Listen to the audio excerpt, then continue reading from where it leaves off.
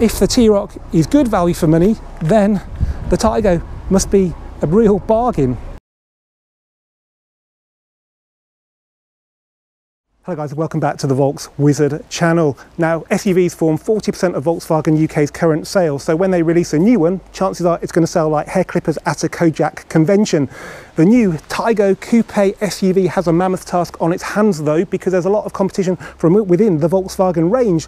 Firstly, we have the T-Cross, which has been around for a few years. It's on the same MQB A0 platform, and it's a little bit cheaper, but most competition comes from the million selling T-Roc.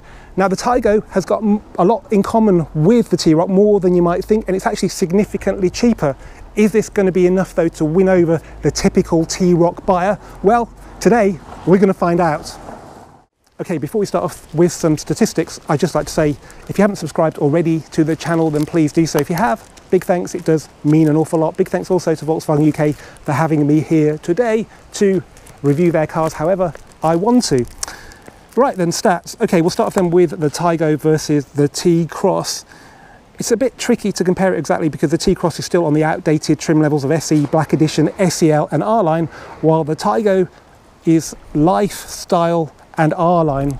The R-Line is the one we have today. As both have got an R-Line, it's easiest to use that for comparison. So let's start with the cheapest version, the one litre TSI manual. This is £27,560 for the T-Cross it's £27,845 for the Taigo, so just £285 extra. Let's have a look at fuel economy, because this is actually more interesting than you might think. So the one litre TSI T-Cross does 47.9 miles per gallon on the combined cycle. The Taigo does 51.4 and that's the same engine and gearbox, just a different body and the Taigo is 5% better on fuel. I can only put that down to the more aerodynamic shape, which we'll talk about later. CO2 emissions reflect this as well with 134 grams per kilometre for the T-Cross and 125 grams per kilometre for the Taigo. Now let's look at the 1 litre TSI with the DSG gearbox. T-Cross does 44.1 miles per gallon, Taigo does 47.9. That's an even bigger gap of 7%. Finally, let's look at the range topping 1.5 TSI Evo DSG. It's 47.1 miles per gallon for the T-Cross, 48.7 for the Taigo Go. And in both cases, whether it's T-Cross or Taigo, the 1.5 TSI DSG is significantly more efficient than the 1 litre TSI DSG, even though it's a lot more powerful. I can only put that down to the cylinder on demand technology. The Taigo is a little bit lighter, 28 kilograms lighter than the T-Cross. It's five and a half centimeters lower, which kind of does look really kind of obviously. This is a quite an interesting one. It's actually 16 centimeters longer than a T-Cross, which um, does make up for some of that reduced height for the boot. So it's 455 litres for the T-Cross, 440 for the Taigo. So you do pay a little price in the boot capacity for that sleek and stylish, they say, roofline. Okay, now some stats on the Taigo versus the T-Roc. This is the big one, guys. Basically, if you want a two litre diesel or a two litre petrol or a four wheel drive, you've got to have the T-Roc. So there's no competition in the Taigo range but both models get the 1 litre TSI and the 1.5 TSI petrol engines.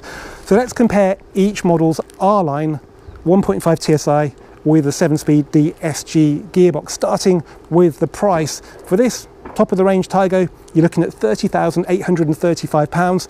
For the T-Roc, it's £33,430, so a £2,595 uplift for the T-Roc. Well, what does that actually get you? Well, we'll start off with fuel economy because this is pretty interesting. So on the combined cycle, once again, the Taigo will do 48.7 mpg, the T-Roc does 46.3, so around 5% worse. Again, this is reflected by the CO2 emissions, which were 132 grams per kilometre for the Taigo versus 138 for the T-Roc. The Taigo is a little bit lighter as well, which will help in efficiency, no doubt. The Taigo, quite surprisingly, is three centimetres longer than the T-Roc, but the T-Roc has 3.6 centimetres more within its wheelbase. Where the T-Roc really wins though is height and width. It's six and a half centimetres taller than the Taigo, although this only translates into two centimetres more inside the cabin because the ground clearance on the T-Roc is a little bit higher. It's also 6.2 centimetres wider, excluding the door mirrors, which means significantly more space for rear passengers. Boot volume though is surprisingly similar though, with the Taigo's lengths affording a generous 440 litres versus 445 for the T-Roc. So just five litres difference between these two. So probably not enough to influence your purchase. Performance-wise, the Taigo slippery shape gives it a top speed of 132 miles per hour compared to 129 for the T-Roc. So it's a little bit faster, but when it comes to the 0 to 62 sprint, however relevant that is, there's not a lot in it. They're exactly the same at 8.3 seconds, which is a usefully half a second faster than an up GTI to give you some context.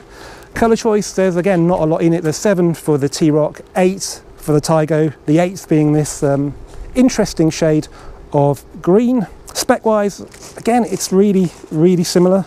Both get 17 inch wheels, 10 and a quarter inch digital cockpit pro, navigation system with wireless app connects, although only the Taigo gets wireless charging. It's a 365 pound option on the T-Roc, but the T-Roc does get heated seats as standard. That's a 350 pound option on the Taigo. So there's not a lot in it when it comes to what's on paper. Let's have a close look outside and inside to see if we can find some difference between these two SUVs. Now, unfortunately, I don't have an R-Line version of the T-Roc to compare with the R-Line Taigo.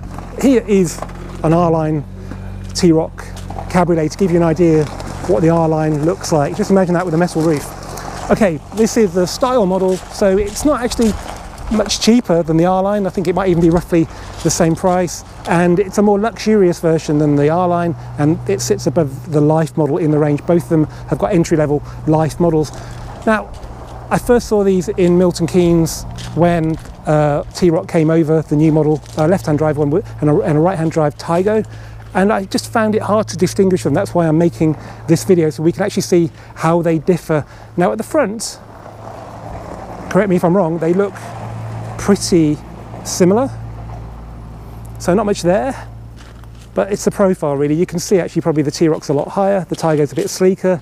It's um, definitely got a much sleeker rear profile. They call this more stylish, but I think that's subjective. It's maybe not not as um, appealing to some because I quite like the chunky looks of the T-Roc and the T-Cross, but they've made a lot of effort with the back. You've got this light bar which looks really cool at night. You've got a full width reflector down there, a black inlay which always looks pretty good, and it's gloss black. On the back here we've got these new style, um, are they reflectors that are in a sort of O pattern? We've got matte black plastic down there and some aluminium but actually the rear end I think tell me if you disagree looks better than on the T-Roc which hasn't really changed an awful lot in these style models compared to the old one I think this is a petrol blue and this is a special green colour that escapes me right now but yeah I think it works and it's great that Volkswagen given us some unusual colours so yeah that's, uh, I think, a win for me personally on the outside for the Taigo. Okay, let's have a look inside. So this will be familiar to a lot of people with a million of these being sold. And it is a pretty nice place to be in here. So we haven't got haptic buttons on this one, which will be a win for a lot of people. We've got climate control down there, separate, unlike Golf 8. We've got this very convincing stitch section on the dashboard, which looks like a Porsche extended leather these seats are really nice actually, bearing in mind this is not the sporty one. They're yeah, really nice Alcantara there, grippy fabric there, fake leather there, cloth around the back, front centre armrest in the sort of fake leather, piano black around there, six speed manual on this car. And uh, yeah, it's um, it's a nice cabin now. Virtual cockpit on both of them, 10 and a quarter inch. Door cards are lovely with this uh, contrast stitching there. Let's have a look in the back then because the T-Roc is usefully wider than the T-Cross and that means you should have more room in here. So maybe not the best place to have three adults in the back. The headroom's pretty good though because we don't have a sloping roofline. I reckon you could probably be quite happy with three sort of average size adults in there just about. It's definitely a, a three belt on the back seat there. Not bad. Let's have a quick look in the boots. You open that with the Volkswagen logo. It's quite a high boot floor this. It's up to my sort of waist almost. So that's kind of good for a loading and unloading. There's loads of space down here, no spare wheel though. Unfortunately, presumably that's available as an option. But you can use that space down there. So yeah, that's a big boot, but there's not a lot in it with the Taigo. Right, let's have a look inside the Taigo then. Now, interestingly, we've got the R-line fabric because this is an R-line, so that looks very much like Golf R-line, even Golf R without the blue. We've got, yeah, a nice floor mat, sort of Golf spec carpet, contrast stitching on those floor mats. Door cards are a little bit plain, there's no colour, no splash of anything really on here. Fabric there, it is padded. This is rock hard. I do quite like the fact they're styling these bits now with a pattern which does make it look, least they've made some effort. Shock horror, we've got sill protectors here on the Taigo, but they're not going to do an awful lot of protection. They are quite small, but it's just a nice touch there. Again, no haptic buttons on the steering wheel. Is that a trend now? Just like the T-Roc, we've got separate climate control panel, which is touch sensitive. Again, a manual gearbox here, start, stop, start and stop for the engine button down there. Manual handbrake, that is a difference. Some might prefer it, some might not. I actually like electronic parking brakes. That would actually put me off the Taigo, but maybe I'm just weird. In here, we've got a soft touch dash, which is quite nice. It doesn't have the fake stitching of the T-Roc, but it's still quite nice. And it's definitely a, step up on the old T-Roc and the T-Cross. So yeah, interior quality in this R-Line, I don't find offensive at all. We've also got a sunroof here, which is always a nice touch. I think it's about a thousand pounds option. Yeah, I'm a bit, I'm a bit um, hmm, surprised by the angle of this parking brake. Uh, but there we go, it's just been put on firmly, I guess, to stop people having a mishap. Glove box unlined, but slightly damped. It's pretty good. Let's see what it's like in the back then. So we're a little bit narrower in the Taigo. Can you tell? As I get, you know, notice a bit of a unfortunate sheen here on the plastic. So this is definitely a downgraded door card. This is hard plastic but that still feels good quality like the front ones that's good still got a pattern down there but yeah look at the sheen on that. That's pretty pretty nasty. Okay actually there's not an awful lot in it. Again you can you've got three seat belts across the back. Um, headroom does feel a little bit tighter. You couldn't wear a hat very easily in this car i think. Uh, we've also got the sunroof which may not help but it does allow light to bleed into the cabin and uh, yeah it's not bad I think if you're going to carry three in the back, then maybe T-Roc would be a better bet, but this is far from awful. And finally, the boot. So there's a release under here, not the Volkswagen badge, rear camera there, which is an option. And here, again, the boot's quite high in this setting, a little bit lower than the T-Roc. And under here, we've got a spare wheel and the, I think the Beats sound pack subwoofer just there. So we can still go lower. And that's why the boot space I think is just five litres smaller than the T-Roc so don't think this is a smaller car when it comes to boot capacity or even the cabin. Okay, let's now go for a drive and see if we can find some discernible difference between these two SUVs. Okay, here we are driving then the Taigo, I thought I'd start off with this. We've got the 1 litre TSI 110 horsepower 6-speed manual gearbox in R-Line specification.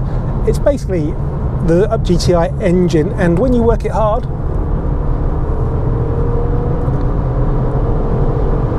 it makes that Poundland 911 noise the Up GTI is so famous for, but it's very subdued in this car. You can't really hear it. It is lacking a bit of character in that respect. On the plus side, even if you put it in the sportiest of driving modes, sport, we've got eco, normal and sport, as well as individual, there's no fake noise. That's a good thing. And it is very refined. They've clearly spent a lot of time making this car refined. I think its aerodynamics help. It's a very windy day today and it's good. We've got a sunroof as well, which admittedly is closed, but the blind is open. I'm very happy with the levels of noise in this car. It's surprisingly good for a car on the lowly AO platform Gear shift is lovely as well. They've had decades to perfect it, and I think they have now. It's not the fastest car though. It's about 20% heavier than that GTI, and I'm not sure the 0 to 60, but it's going to be about 9 something. It feels probably getting closer to 10. The gears are quite long as well as they are in the modern way, um, but it's okay, it's adequate. If you want more performance, buy the 1.5 TSI with 150 horsepower. You get that with a 7-speed DSG as well, and that would really shift 0 to 60 in 8.3 in that this is okay.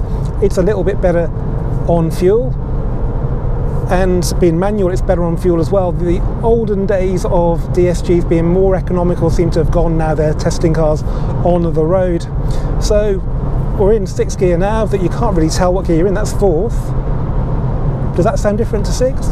no we're doing 70 miles an hour and it's a windy day so there's a little bit of rustling but no it's pretty good by the way, if you hate lane assist, button on the end of the stalk, press that, press OK, on the steering wheel, press that again, and it's gone. So it has got an easy switch off, but it does turn on every time you drive the car. But actually, it doesn't seem too intrusive. We're on 18 inch wheels, which are an upgrade, Hankook tyres.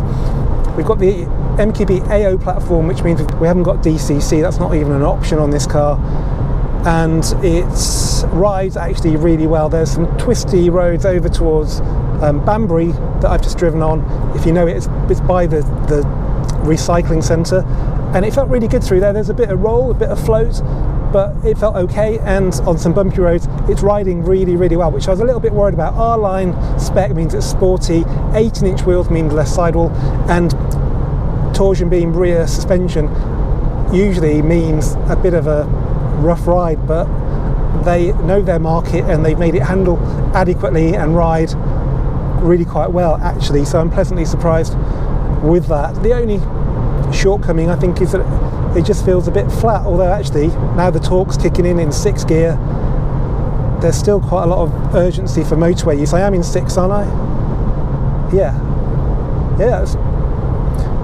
Well, let me demonstrate. That's 60. I'll put my foot to the boards.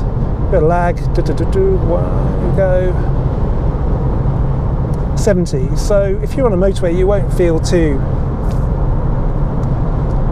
lacking in power, it's plenty fine actually.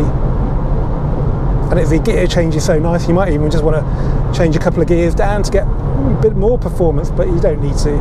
Yeah, it's a surprisingly good all-rounder, this Taigo. But is it better than the T-Roc? Well, let's go and drive that and find out.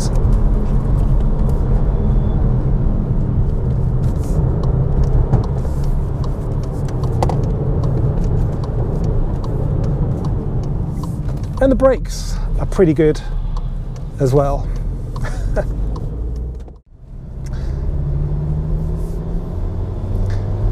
Okay guys, so T-Roc then, this one's not a perfect match for the Taigo. It's a 1.5 TSI, 150 horsepower. It's got the same six-speed manual gearbox, but it's a style trim, not an R-line. So we've got a bit more punch in this car. The Taigo was 110, this is 150. It feels all of the 40 horsepower faster actually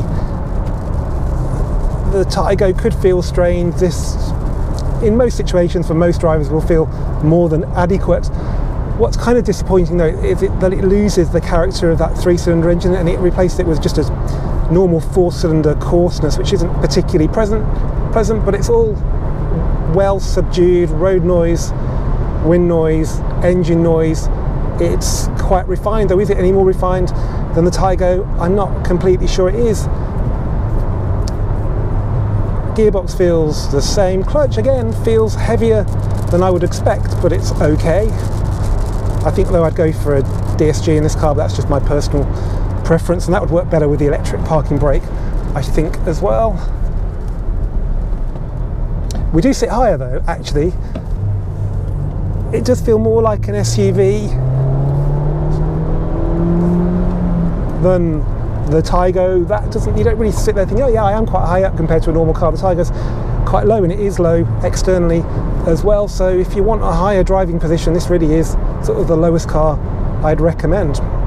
Now let's do 60 to 70 again in sixths. Let's make sure we're in six, that's sixth. And here we go, foot to the boards. Lag, lag, lag, lag, lag. And 70. So that seemed a little bit quicker Dashboard. Now, how come the Taigo's got a better dash than the T-Roc? It's definitely got a better dash than the T-Cross as well. Okay, the T-Roc has got this lovely fake stitching on it, but it does go to hard plastic under the air, lay, air vents and the inlays. Well, the Taigo is soft touch down there as well. It only goes cheap at the glove box level. So whilst the stitching is lovely, I'd definitely trade it for a soft touch down here because I don't like this bit of plastic down here. It's very visible and very shiny.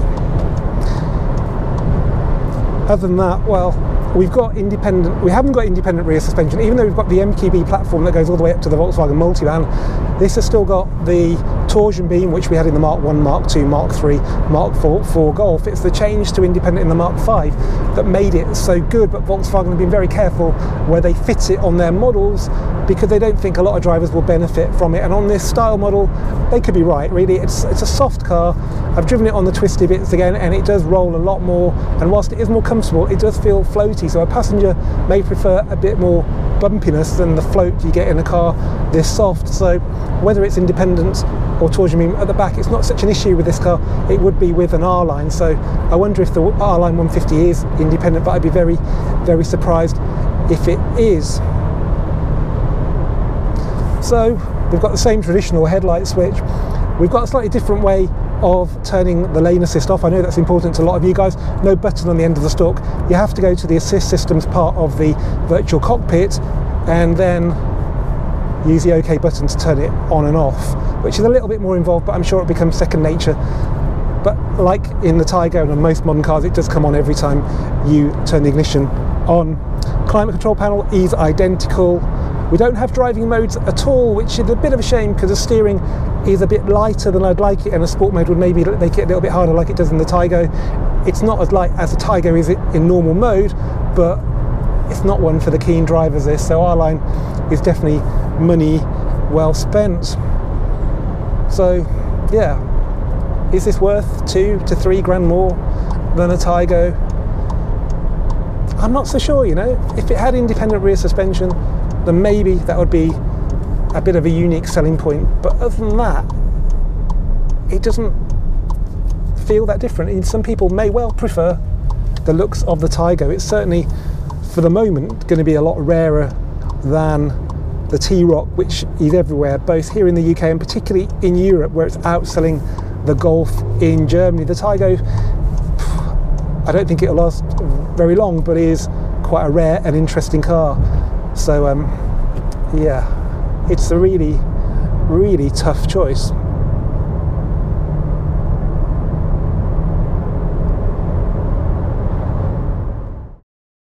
The T-Roc has sold over a million units worldwide and currently outsells the Golf in its home market. So I think it's fair to assume it's a good car and often decent value for money. But on what I've seen today, the Taigo seemed even better in this regard. Okay, it's a little bit smaller, so it could be a bit of a squeeze for three rear passengers. It's also being based on the MQB AO platform means that we don't have independent rear suspension on the more powerful models, and we don't have an electric parking brake, which once you get used to is actually quite good. But if the T-Roc is good value for money, then the Taigo must be a real bargain. So what about the cheaper T-Cross then? Well, VW bill the Taigo as the more stylish alternative to the T-Cross due to its swoopy coupe rear styling. But as ever, looks are subjective, and I prefer the chunky looks of the T-Cross, but they do come at a price.